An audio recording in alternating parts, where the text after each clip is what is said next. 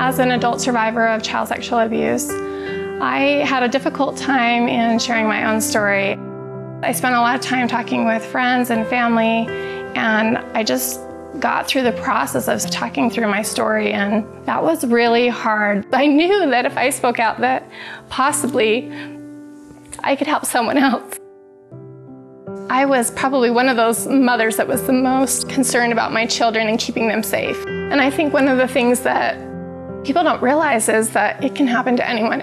It happened in our family.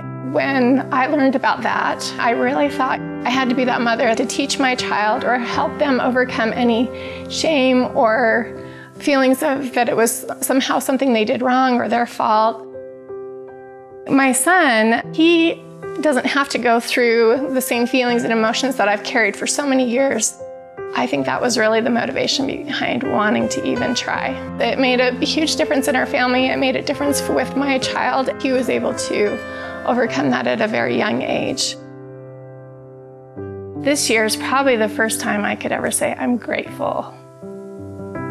I'm grateful for my trial that I've had. I'm grateful because it gave me an opportunity to be a really good resource for my children. The word that I would use is soulvivor instead of survivor.